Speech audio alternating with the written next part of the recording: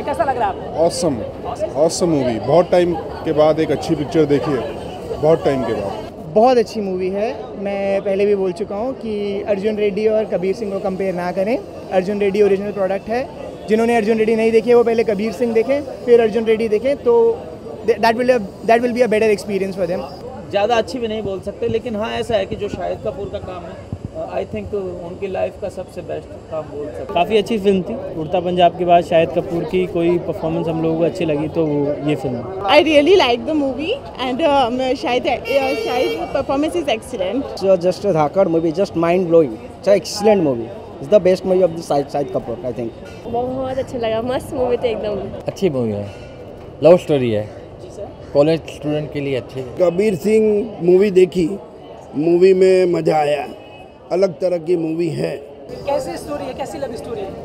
Love story है? People know about Arjun Reddy है most of the like maybe North Indian population has also seen Arjun Reddy I feel so love story बहुत अच्छी है very well written like it's a very very good that they made it in Bollywood also it's a very good idea बहुत अच्छी बहुत अच्छी love story एक मैं कहूँगा कि एक काफ़ी हार्ड हिटिंग लव स्टोरी है।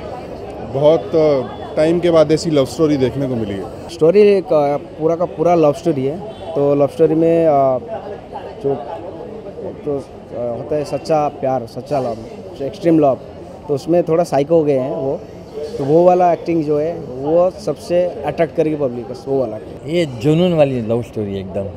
प्यार में जो आदमी बर्बाद हो जाता है तो अपने अपने आप को ही बर्बाद कर देता है। प्यार में पागल एक प्रेमी की स्टोरी है।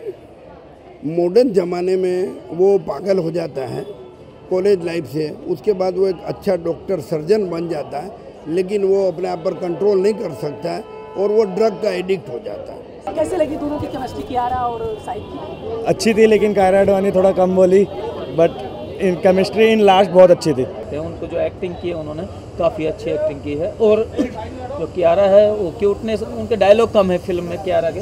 लेकिन जो उनकी जो एक्सप्रेशंस हैं जो फीलिंग्स हैं वो अच्छी दिखाई दी Kiara Advani was super Shahid Kapoor was awesome Shahid is uh, um, उस, उन, उसकी बॉडी अच्छी थी he was looking so amazing his acting was super super ऐसा लग रहा था उसके अलावा ये रोल कुछ और कोई कर ही नहीं सकता था. In every scene he was so so perfect Kiara Advani का रोल ऐसा है कि वो हीरोइन है बहुत अच्छी देखने में सुंदर है और अच्छी तरह उसने रोल किया है केमिस्ट्री बहुत उसकी अच्छी है।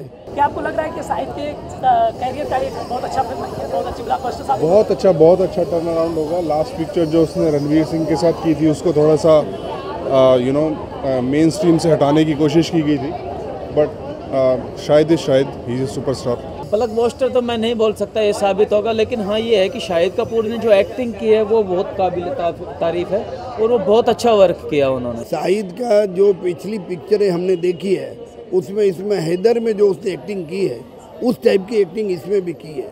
हो सकता है हैदर से एक परसेंट ज़्यादा ही की हो। और सॉन्ग के बारे में क्या बोलना चाहेंगे? सॉन्ग एक अच्छा है जो बेखुदी में भी तेरी इस टाइप का ख्याल है बेख्याली में भी तेरा ख्याल है वो बहुत सॉन्ग अच्छा है। और इसके अलावा बाकी आई थिंक ज़्यादा सॉन्ग अच्छे नहीं बोल सकते।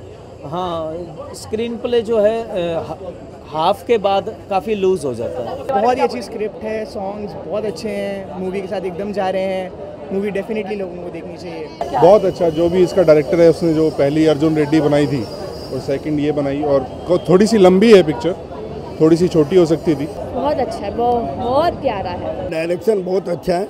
इसमें मार अगर पिक्चर खाती है तो एडिटिंग में। सर आप फ़िल्म को कितने स्टार देना चाहेंगे? मैं थ्री स्टार दूँगा। 3.5 four and half four five out of five five five five five five out of five five two and half तीन स्टार दूँगा।